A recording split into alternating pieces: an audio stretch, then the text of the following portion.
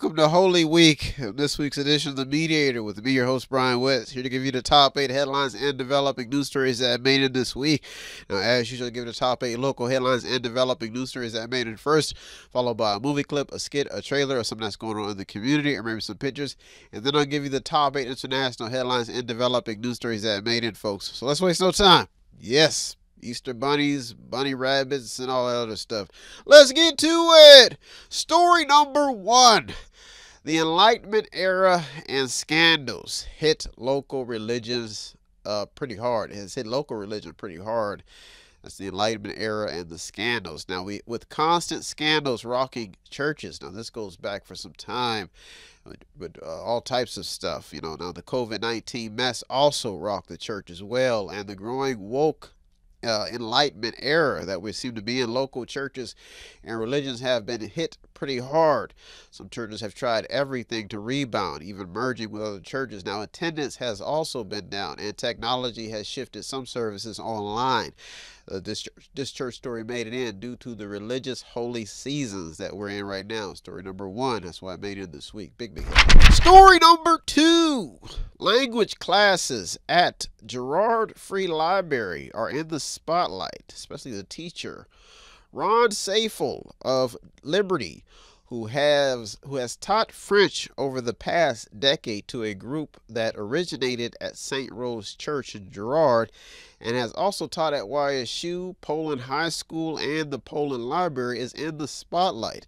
John Patrick Gatta, a correspondent of the Vindicator, uh, contributed a report published March 16th shining more light on the language arts.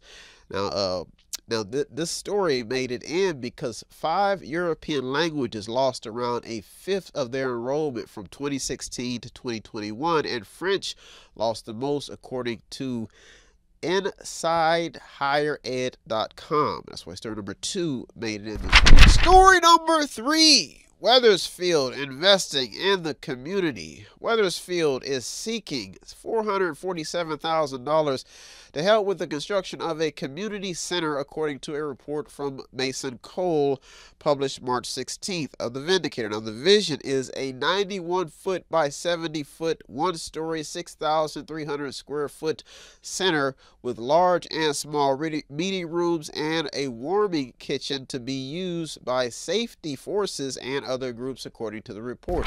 Story number three Lakeview gets a new superintendent, Ashley Handrich, uh, who has 18 years of service, says she's looking forward to engaging with the community and is committed to the Lakeview schools, promising future ahead, according to a WKBN report out of Cortland, Ohio. So Lakeview will be getting a new superintendent. Story number five wastewater work opposed by some in Youngstown.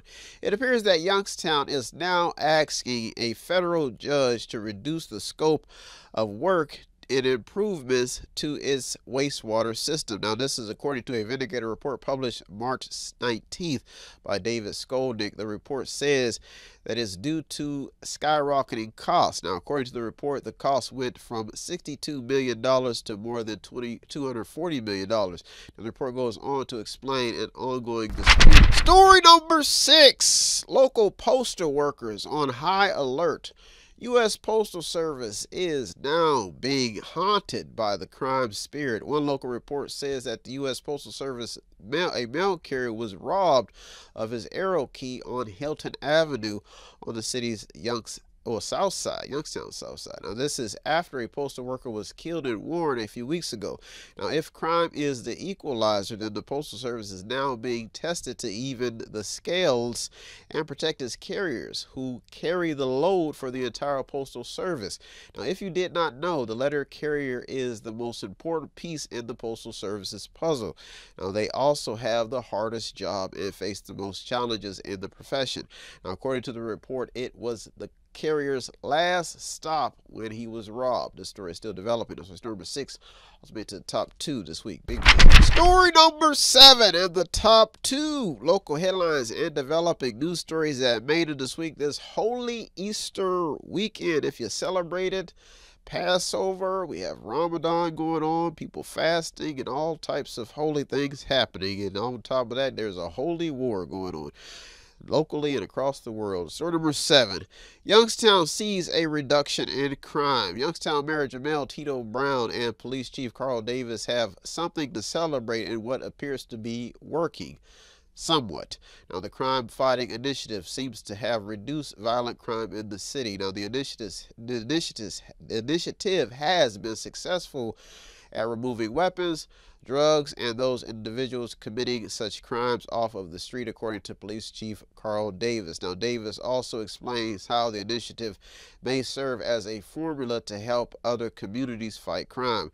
Now, the crime fighting partnership that patrolled the streets conducted nearly 500 traffic stops, resulting in 47 criminal arrests. Now, 35 drug cases were also initiated, five stolen vehicles were captured, and 11 weapons cases were initiated, showing that drug charges steadily rose from 86 in the second half of 2021 to 188, but violence crime, well, violent crime dropped from this is what got the story because violent crime dropped from 179 to 109, according to a Vindicator report published March 20th by Ed Runyon.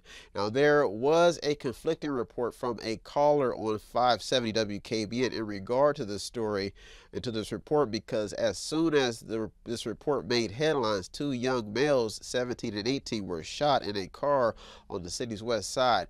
The 17 year old did not make it. Now, this story is still developing. That's why story number seven also made to top this week. Big, big headline. Story number eight in the top local headline and developing news story that made it in on Easter before the, the weekend, but the Passover. Well, Good Friday's coming, and I've been working hard, but I'm still working, baby. And that's what keeps me going. Story number eight.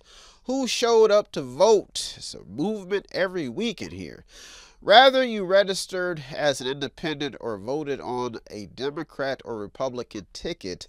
The big question is Did you exercise your right to vote? Now, the Ohio Capital Journal says that Northeast Ohio's voter turnout was 50% lower than past presidential primaries. Now, this is a problem that many activists will be trying to solve. Now, too many distractions or just lack of awareness could be causing this problem. People do not know the power of a representative republic and a democracy. That could be the problem. People have just become too unaware. That's why number eight made it to the top this week. Well, folks, those are our top eight local headlines in developing news stories that I made it this week. I'll be right back with the top eight international headlines in developing news stories. So don't you go anywhere. You're the mediator me, Brian West. I'll be right back. Welcome back, welcome back. Now it's time to get to the top eight international headlines and developing news stories that made it this week. Folks, it is uh, Easter weekend. Well, we're headed into Easter weekend. This is Passover Good Friday weekend. So I have to tell an Easter story. And I remember uh, our Easter so vividly back in the day with my family when we lived on St. Louis. It was me and my mother and my sisters. We lived on the street. And uh, we used to have this dog, and his name was Champ and I mean this dog had character. But when I saw this the story I'm going to tell taught me something amazing about this this nature and how we all have this character. It's about resurrection, how people will fight for redemption, and I think Champ had loved our family. He really did. And then when my when my mom had met her uh, significant other at that time, and then he started whining and dying, uh, he was a, you know, he came in and he had a dog, this big Doberman, and he had brought him over to the house. This is when he was trying to, you know, mingle with my mom and the dog. Champ got jealous of the dog, and you know, this we were kids, we were like, wow, you know, you don't think dogs could think like human beings, but Champ got upset when the dog had came in the house, you know, and dogs get real territorial. But Champ, this is this is it was an unbelievable story because Champ went toe to toe with this dog in the house. I mean, I mean, this was a little mutt went up to it with a he went up against a purebred Doberman pinscher. Went up against him. And I mean they were fighting and tussling and Champ just would not back down. He wanted his family, me, my sisters, and my mother. And he would not accept defeat. I mean, this dog was willing to fight to the death. So bad that he I seen him get it's almost like he was dead, but he resurrected to win this fight. And seeing all of this happen right before my eyes at a young age, I said that dog deserved the name champ. Because that's what champions do. You get knocked down a thousand times. A thousand times. We fall down and we get up. Oh, what a Savior's just a sinner who fell down. The damn dog got back up thousand times just for his family. Resurrected. That's our story this holiday season. Champ the dog. I remember you, Champ. He passed away when I was just a yay high, but that dog deserved the name Champ. Let's waste no time, folks. Get ready for this Passover season. Let's get to it. Story number one the pension story. USA Today has a piece with a new survey suggesting that most Americans still don't have a pension. Now, speaking of resurrection, now the article goes on to say that between 1975 and 2019, the number of people actively participating in private sector pension plans dwindled from 27 million to fewer than 13 million. The article says that this comes from a congressional report. The article goes on to explain how this could hinder and has hindered many Americans from achieving the American dream. Without money and with money, is is on everybody's mind. And that's why this story is still developing. Because without money and with money, money is on everybody's mind. That's why story number one made it. Story number two. The Israel Palestinian story is now amplified in hunger. World Bank reports of catastrophic famine in the Gaza Strip due to the food shortages for more than a million people. Could you imagine going hungry? A million people. Folks, that's serious.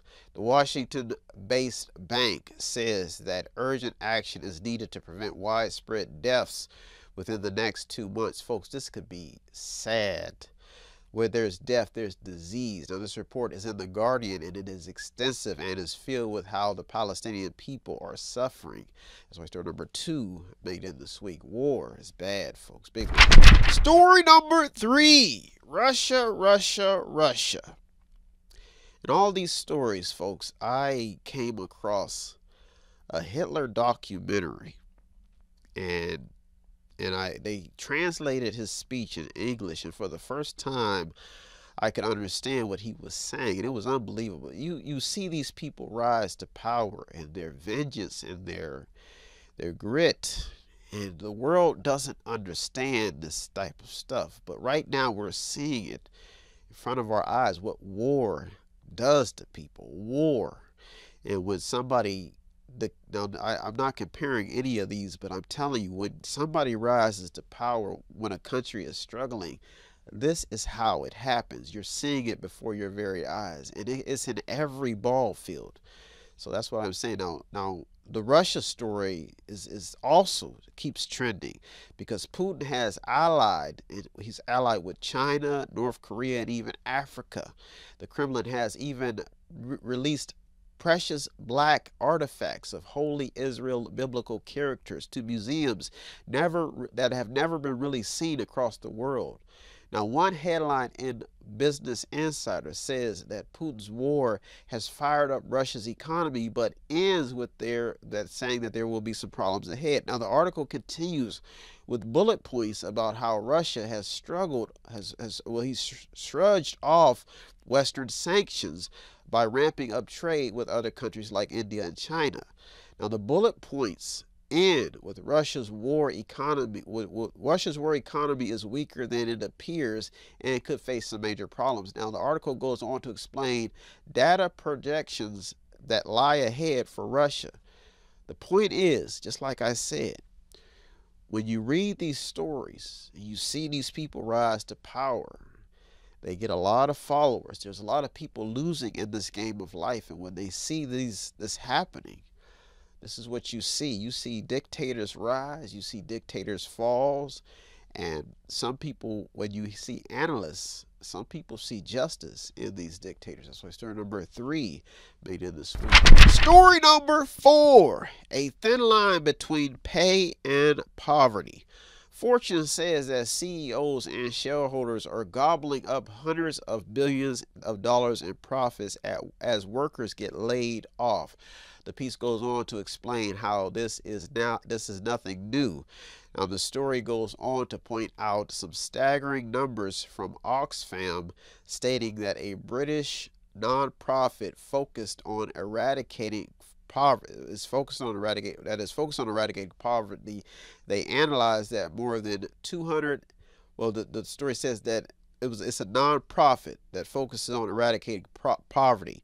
It stated that which analysts which they analyzed that more than I have to get this right that more than 200 U.S. corporations that when they assessed they they're quoted in the article they're saying that they this is what it says that there's an inequality footprint. That means that there's something that you can see a trail when you're looking at inequality and it's been going on for a while. This is it says that there's an inequality footprint in which most of the money that always ends up at the top no matter what. You could be, you could get a hundred thousand dollar payroll for three years, and then all of a sudden this money somehow ends up at the top. Now the article goes on to explain how CEO pay has ballooned since the pandemic hit, increasing by 31% from 2018 to 2022. The article goes on to explain how shareholders and CEO pay has risen to record levels in the aftermath of the COVID-19 crisis. So it means even while people were suffering, somebody was still getting a paycheck. Now, according this is all according to this piece. Now, the article goes uh, goes on further to say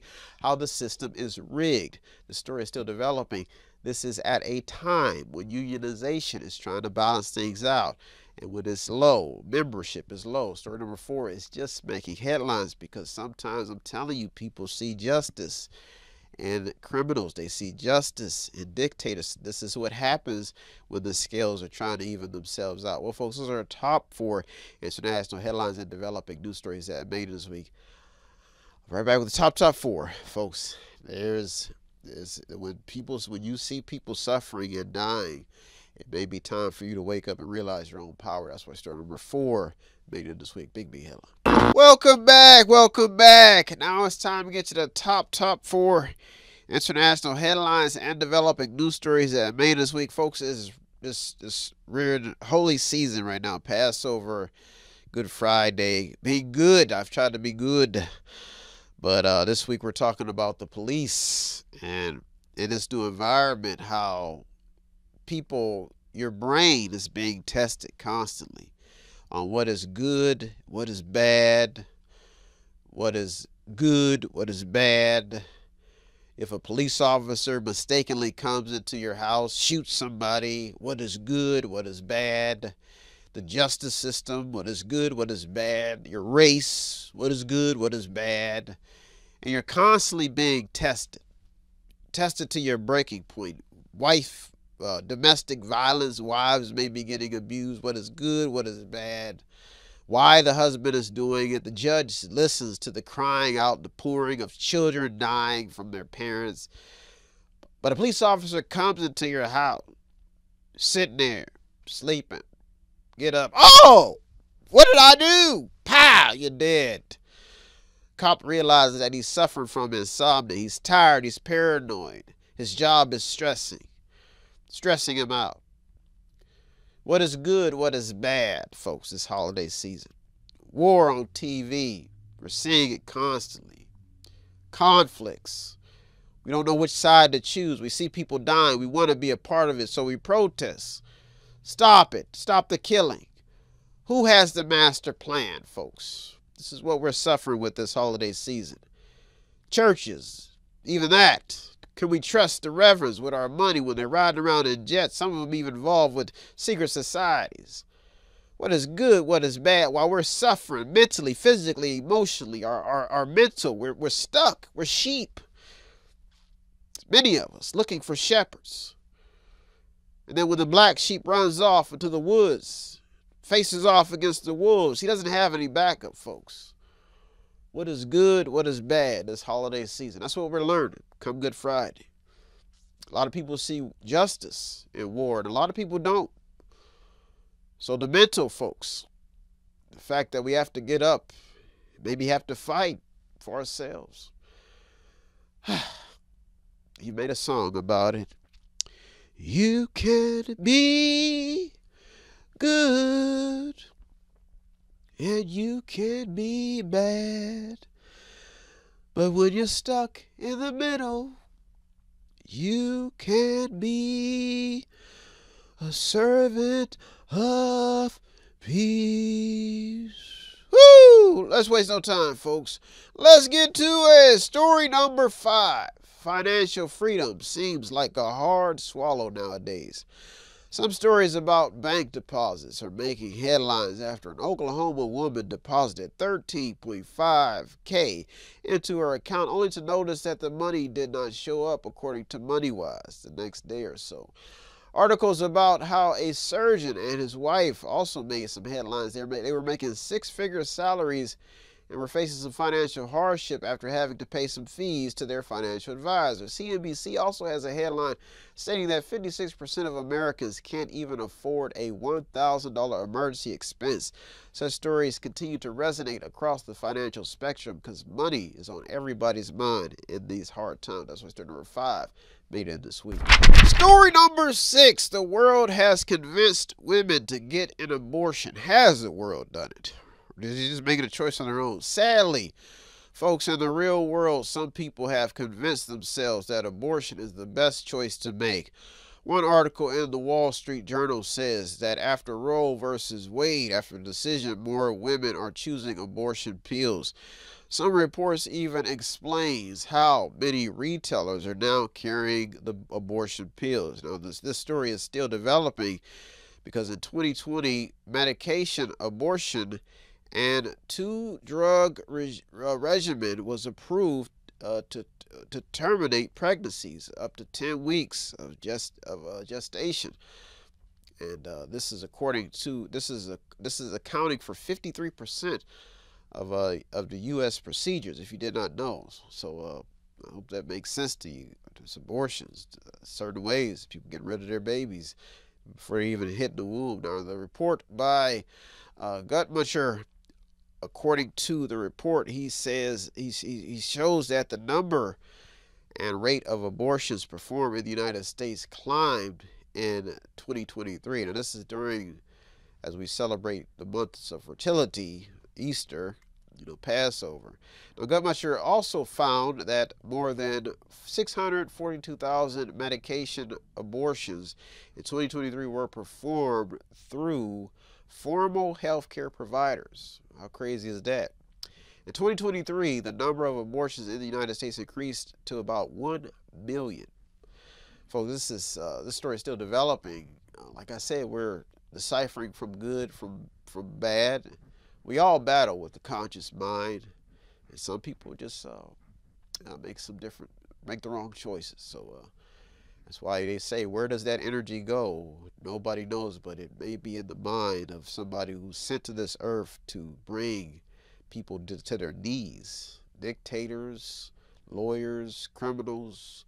Some people may say they're crazy, but sometimes when you listen to their uh, motives, you be like, something sent this person here. And uh, that's why story number six I was made to the top two this week. Big, big headline. Story number seven and the top two international headlines and developing news stories that made it this week. This Easter, Easter, Passover, Easter will be next Sunday, so I'll be with you on two days. They have Ramadan going on, people fasting. So, uh, I've decided to come in here and share my time with you. Story number seven.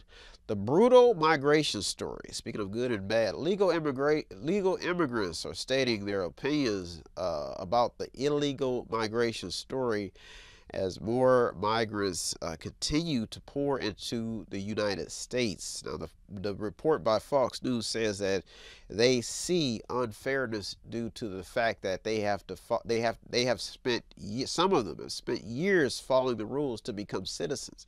And so they see this as unfair. Now, the story goes on to explain how it took one man 20 years to become a citizen and how he's been trying for for four years just to get his wife here.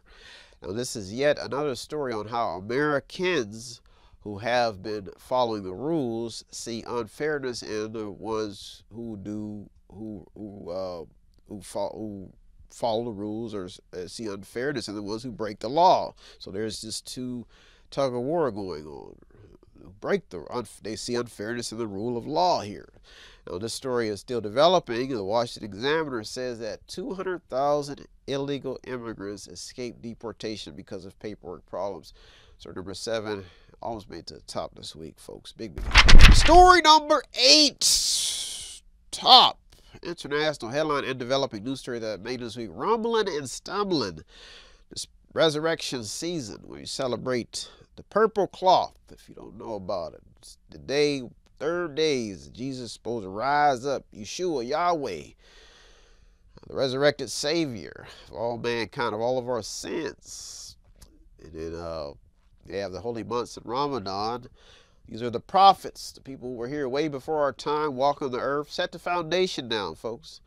Story number eight inflation is killing everything slowly. Fox Business says that uh, the, that dollar store chains are set to close 1,000 stores as experts point to inflation and crime as being top factors. There's probably over 16,000 dollar stores across America. Now, when looking at the data, it appears that people experiencing high poverty seem to be committed to the most seems to be committing the most crimes, while some who have an abundance of wealth seem to be using the, un- the unfortunate as pawns on this board. Folks, this story is still developing because inflation causes people to do wild things, especially money, hunger, and revenge to avenge a certain cause, especially war. So we could be seeing a lot of uh, things happening in these uh, coming months. Well, folks, those are our top eight local and international headlines and developing news stories that I made this week. I hope you got something out of today's program. I always get something out of the research. As usual, I thank all the news outlets, journalists, people on the front lines. I hope you. Uh, keep the party going because I keep the party, I keep the information going, I navigate your story just to keep people informed. So thanks to all the news outlets, the journalists, the media. If you want to show us some support here at Method, it does not take much. All you do is visit the website on the screen, buy something, click on something, watch something, read something, or the sponsor program. I'll be back next week if you want to show up. If you want to actually even come to the store, uh, I'm at the store at 5648 Market Street in Boardman, Ohio. I'll be back next week, folks. looking at over 200 or more stories just to keep you informed. Lord willing. Have a good week, everybody. Thank you for tuning to the media this week with me, Brian West. Peace. Have no fear, fellow citizens. The mediator is here.